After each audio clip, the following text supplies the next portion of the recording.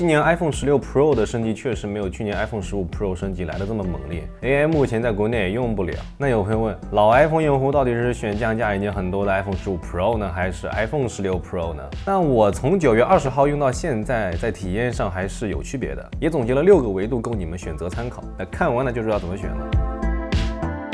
首先，当我自己上手之后，感觉和 iPhone 十五 Pro 也差不多啊，没多厉害嘛。那在外观上呢，其实并没有太大的变化，屏幕变得更大更长了。相比 iPhone 十五 Pro 来说的话，我们可以看到它多出来这么一点点小揪揪。其实，在视觉上的话，我也就能感受到边框变窄了，但是基本上带个手机壳，哎，就看不太出来了。新增了一个今年争议很大的拍摄按钮，说实话，我目前还不是很习惯。那么有很多朋友会问，这个钛金属边框会不会掉漆啊？其实不用担心啊，我十五 Pro 用了一年。也没有出现过掉漆的情况。关于手机的性能，宣传的时候又是什么第二代三纳米制程啊，又是什么全新的中央处理器、图形处理器，其实我们根本不用担心啊。不管是 A 十七 Pro 芯片还是 A 十八 Pro 芯片，它们的性能对于我们日常来说那都是过剩了。反而我们要在乎的是发热量和能耗。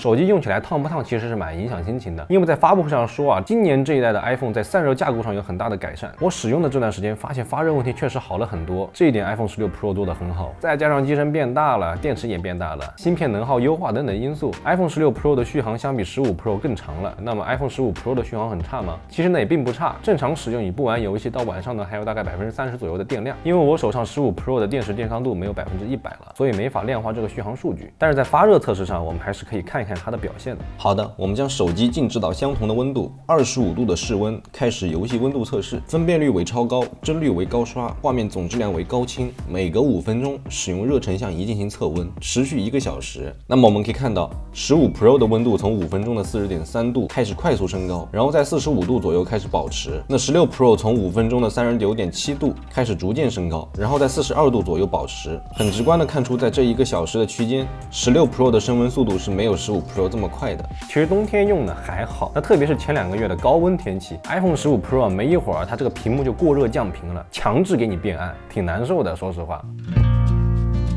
在摄影部分，今年 iPhone 十六 Pro 的升级其实还是蛮大的，超广角镜头升级到了四千八百万像素啊，明显的就是细节变得更多了，解析力更高了。长焦也是从上一代的七十七毫米上升到了一百二十毫米，相当于是 Pro Max 的长焦下放到了 Pro 上面啊。因为我不太喜欢太大的屏幕，但对摄影呢又有要求，那这点升级我是很喜欢的。同时，原相机里面还更新了一个滤镜系统，可玩性还是蛮高的。之后呢，我会专门出一期视频和大家分享。在视频拍摄方面，苹果今年又给了我们惊喜，从之前可以拍摄 4K 六十帧的 Apple Log 视频，到这一在 iPhone 十六 Pro。可以直接拍摄 4K 一百二十帧的 Apple Log 视频，这个是真的牛，很多专业相机还没法拍摄到 4K 一百二十帧的视频，而且它这个画质依然很棒。虽然只有一颗主摄能够拍摄 4K 一百二十帧，但是我已经很满足了。你像有时候出去玩拍拍 Vlog，那一部 iPhone 十六 Pro，它的画质完全完全够用了。那我不否认 iPhone 15 Pro 的香，有 Apple Log 可以拍摄 4K 六十帧，但是在发热问题上，毋庸置疑，iPhone 16 Pro 真的好太多了。加上续航增强，用16 Pro 拍摄 Vlog 在很大程度上可以超越卡片相机了。同样，长焦从77毫米升级到了120